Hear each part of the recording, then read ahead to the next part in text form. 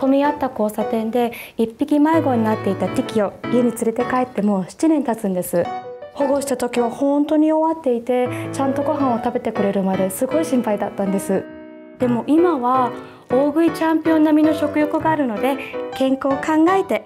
ピリナワンを食べさせています。本当に美味しく食べてくれるんです。